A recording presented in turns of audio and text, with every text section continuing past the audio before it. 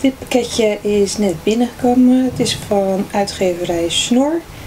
En ik ga even kijken wat erin zit. En neem ik je dus mee hoe pakketjes binnenkomen.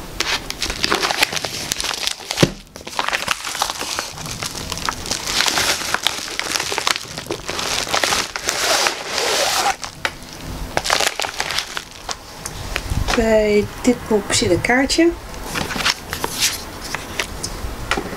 Handgeschreven door henzelf. En dan het boek wat ik gekregen heb. Letters. Moderne calligrafie en handlettering.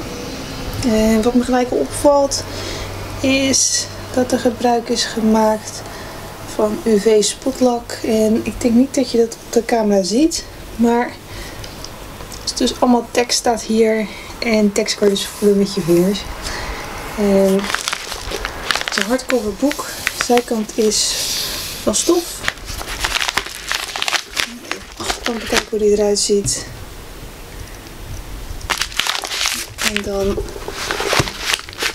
blader ik altijd heel even het boek door. Snel. Een beetje te indruk te krijgen wat voor boek het is. Sommige stukjes eventjes kijken.